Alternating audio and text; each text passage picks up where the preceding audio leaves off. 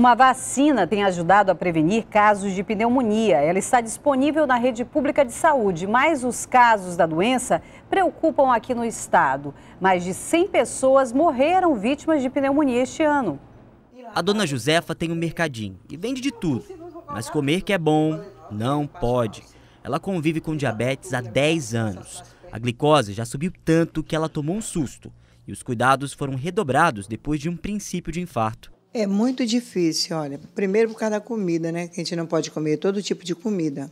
E o que come, coisa errada, já a glicose já aumenta. A diabetes é uma doença que afeta a imunidade, ou seja, é mais fácil contrair outras doenças virais e até bacterianas.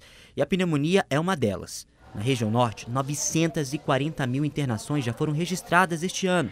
No Amazonas, só nos primeiros cinco meses de 2016, 118 pessoas morreram de pneumonia. Parte dos pacientes tinha doença imunológica, como diabetes e AIDS. A vacina também ela protege contra outras infecções respiratórias, não só a pneumonia. Ela vai, o vacinado ele vai ter proteção contra a otite, que é a inflamação do ouvido, sinusite, meningite, entre outras doenças é, que é, causadas pelo pneumococcus. Já na rede pública, o CRIE, um centro de referência que fica dentro do Hospital Tropical, também aplica vacinas para prevenir a pneumonia. O pneumococo é uma bactéria que todos nós convivemos com ela no nosso dia a dia, mas algumas pessoas têm uma predisposição maior ou vão adoecer mais intensamente caso sejam infectadas por essa bactéria. Apesar dessa vacina ser uma baita ajuda contra essa bactéria, para as pessoas que possuem essas doenças imunológicas, nem todos podem tomar. Isso porque existem exigências do Ministério da Saúde que fazem com que as pessoas tenham que procurar o um médico para receber um encaminhamento. E aí o problema começa. Na lista, quem é diagnosticado com doenças crônicas com maior risco de infecção pode tomar a dose. O médico então vai identificar qual é a patologia que aquele paciente tem e aí sim encaminhá-lo para o CRIA para receber a vacina. Como eu falei, pessoas principalmente diabéticos estão com essa vacina indicada e devem procurar o seu médico e trazer o encaminhamento. Todo mundo que pode pagar está apto a tomar a vacina para evitar a pneumonia. Mas para quem é diabético, como a dona Josefa, do início da nossa reportagem, a vacina é de graça e fundamental. Hoje teve confusão na delegacia de Iranduba, que funciona como cadeia. Um preso passou mal e os outros fizeram um motim para agilizar o atendimento. O tumulto começou por volta de uma hora da tarde. Um detento passou mal e os outros presos tentaram avançar no momento em que ele ia receber socorro. Essa situação desse rapaz que passou mal, para poder eles atender, eles tiveram que fazer essa, né, essa rebelião, essa rebelião aí, para poder acudir a ele aí.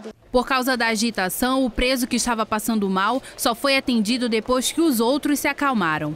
Ele foi levado ao hospital do município. Segundo o delegado, o preso era epilético. Quando o investigador tirou da cera, eles ficaram exaltados, mas não passou disso.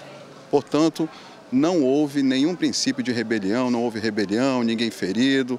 Nesta delegacia em Iranduba tem duas celas com capacidade para quatro pessoas em cada. Mas aqui a realidade é outra. No total, tem 55 detentos lá dentro. Existe um quadro de superlotação, mas que a gente está trabalhando numa possível transferência, assim que nós tivemos, tivermos aí a, a, o deferimento do nosso pedido, o apoio do, das autoridades para que sejam transferidas essas pessoas, esses detentos, nós vamos fazer o nosso trabalho. Familiares dos presos disseram que a situação por aqui é precária. Aí dentro é um fedor horrível, a gente chega aí, primeiro que eles tratam a gente muito mal, né? A gente chega para trazer as coisas para eles, é um, não tem água, eles não têm água, precisam de água. Eles precisam de uma conduta melhor, né? De remédio. O tumulto durou duas horas. O detento que passou mal já voltou à delegacia. Outros 19 presos foram transferidos para a cadeia pública Raimundo Vidal Pessoa. Segurança reforçada. Hoje à tarde, no Comando Militar da Amazônia, foi apresentada parte das tropas armadas que vão atuar durante as Olimpíadas aqui na cidade. A formatura capacitou e integrou as tropas de inteligência, segurança e defesa que vão atuar na capital durante os Jogos Olímpicos. Em seguida, uma demonstração simulou um dia de operação. Depois de um longo preparo que nós tivemos aí desde o ano passado, todos os órgãos, 41 órgãos, vamos ressaltar isso daí, nós estamos preparados. Nós estamos trabalhando mediante coordenação. O reforço na segurança é para garantir a integridade da população e dos atletas, principalmente contra ataques terroristas. Equipamentos químicos e radiológicos foram trazidos do Rio de Janeiro para conter as ameaças. As ações de combate ao terrorismo têm apoio da Agência Brasileira de Inteligência e da Polícia Federal. No eixo da defesa e no eixo da segurança, as forças táticas estão unidas e preparadas para trabalhar em conjunto, inclusive com agressões químicas, radiológicas, enfim, de todos os tipos. Estamos preparados para isso. O espaço aéreo também vai ter um controle especial.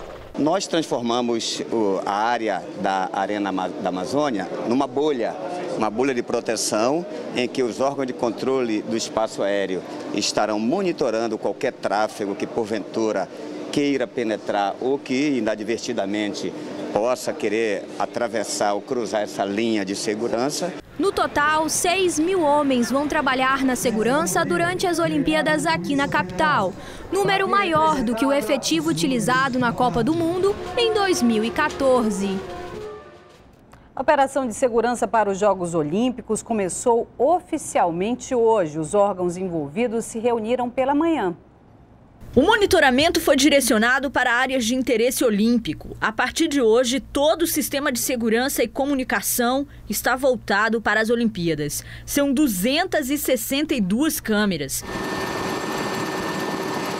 Centros de treinamento, hotel onde as delegações vão ficar, o entorno da Arena da Amazônia são pontos que exigem cuidado redobrado. A partir do momento em que nós ativamos o sistema de comando e controle para os Jogos Olímpicos, é, as operações da cidade ficam também atreladas ao sistema de comando e controle. 35 instituições estão envolvidas. Os representantes reuniram hoje para fazer os últimos ajustes. Cada um reassumiu o compromisso e a função durante os Jogos. Segundo o secretário de Segurança, as forças envolvidas no esquema já sabem como e onde vão atuar. E assim uma preocupação com as ameaças de terrorismo. Não é indicativo de que haja um risco iminente, atual e que possa é, causar, não preocupação, preocupação nós temos, mas causar uma mudança de conduta daquilo que nós já planejamos. A Polícia Federal investiga outras pessoas envolvidas em casos suspeitos de ligação com o terrorismo. É uma preocupação mundial. O cenário hoje é diferente do cenário de 2014.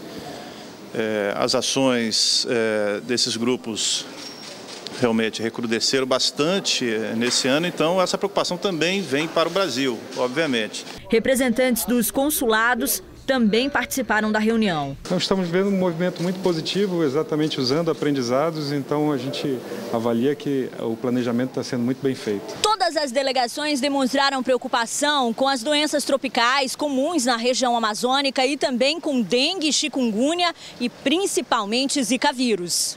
A goleira americana Hope Solo deixou clara a preocupação com o Zika vírus em duas postagens em redes sociais. Na primeira, ela exibe um repelente e diz que não divide com ninguém. Na segunda, ela escreve: Se alguém na Vila Olímpica precisar de repelente, é só falar comigo. A atitude da goleira não pegou bem na internet, mas as autoridades de saúde recomendam o uso. Nós temos todas as condições é, climática, a presença de vetores para a transmissão. O que realmente nós estamos fazendo é, com antecedência, trabalhando no sentido de minimizar é, esses riscos. As seleções começam a chegar nessa sexta-feira e todas vão ficar hospedadas no Hotel Tropical, que vai funcionar como uma vila olímpica. Pois é, as doenças transmitidas pelo Aedes aegypti são conhecidas no mundo científico como arboviroses e o número de casos aumentou aqui no estado. As visitas de casa em casa dos agentes de endemias continuam e, mesmo assim, os registros seguem aumentando. De acordo com os dados da Fundação de Vigilância em Saúde, o Amazonas registrou um crescimento de 30% no número de casos confirmados de arbovirose, que são as doenças transmitidas pelo Aedes aegypti. E mesmo com as fiscalizações, o caminho mais rápido para combater o mosquito é a participação da população. A nossa preocupação é que, devido ao fluxo de pessoas né, ser muito, bastante intenso, é que ela seja corresponsável pela, pela fiscalização do seu imóvel. Segundo o levantamento rápido feito pela Censa, a Zona Leste e a Compensa na Zona Oeste apresentaram um alto risco de infestação do Aedes no primeiro semestre deste ano. Os bairros Dom Pedro e Alvorada, ambos na Zona Centro-Oeste, também preocupam. Dona Eliana mora no Dom Pedro há dois anos. Apesar dos cuidados diários, a caixa d'água passou desapercebida. Estava semi-aberta. E olha isso, água parada em tampas. Se Eliana já tomava cuidado, deve ficar ainda mais atenta depois de hoje. Eu sempre tenho essa preocupação, eu sempre tenho cuidado de olhar, jogar, virar os baldes, né? E eu também tenho um cachorro, né? Então sempre tem que estar tudo sempre limpo.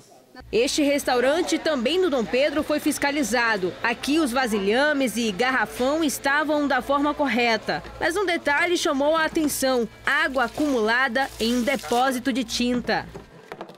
Dona Luzia disse que por causa da chuva não teve tempo de fazer o checklist para evitar os criadouros. Foi de noite que choveu e. Não deu tempo? Não. O problema é mais sério do que se pensa. Nos seis primeiros meses deste ano, mais de 3 mil diagnósticos foram realizados. Zika vírus e febre chikungunya na maioria dos casos. A dengue foi a única que apresentou queda em 50%. Mesmo assim, o risco existe. Esses vírus, é, as pessoas são altamente suscetíveis porque não têm realmente anticorpos, não tem defesa. Consequentemente, era de se esperar que o número de casos né, desse conjunto de vírus, eles realmente é, aumentassem no, nesse ano. O Instituto Oswaldo Cruz, aqui do Amazonas, comprovou que o próprio mosquito também pode ajudar na prevenção. A metodologia é chamada de estação disseminadora, uma espécie de armadilha. É um projeto simples, na qual com potes plásticos cobertos com pano preto e que com água dentro e com larvicida na sua, recoberto em toda a sua volta. Dessa forma, o mosquito ele vem atraído para colocar os ovos nesse local, ele acaba levando essas partículas de larvicida em que ele teve contato nessa, nessa armadilha para outros criadores. A pesquisa foi aprovada pelo Ministério da Saúde e deve ser aplicada em setembro em sete cidades. Manaus ficou fora da lista. No laboratório, o que não falta é trabalho. Dia e noite, pesquisas são realizadas com diversos tipos de mosquito, principalmente o Aedes aegypti e o Culex, o famoso carapanã.